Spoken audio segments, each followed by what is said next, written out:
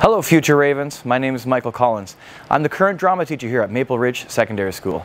As part of the arts department, we can't wait to welcome you to this nice new school. In the drama program, you will have opportunities to work collaboratively and expressively with your peers to convey ideas through dramatic forms. Together, you will explore a wide range of dramatic techniques and productions from diverse culture, contexts, and genres.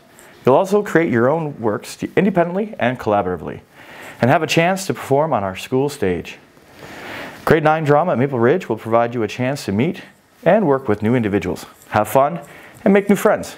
You will learn knowledge and skills that will go beyond the stage creative thinking, writing, and revision, empathy for others, confidence presenting to a group, problem solving, collaboration, and innovation skills that will support your learning and success across all subject areas.